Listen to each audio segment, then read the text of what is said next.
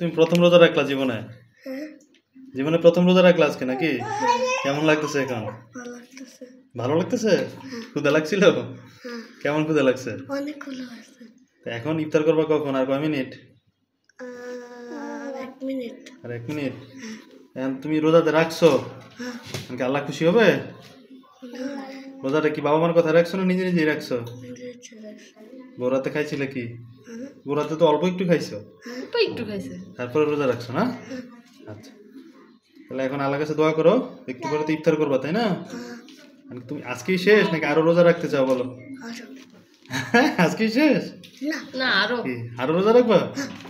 আচ্ছা সুন্দর করে বলো। বেশি ক্লান্ত হয়ে গেছো? হ্যাঁ? আচ্ছা থাক আল্লাহ ভরসা।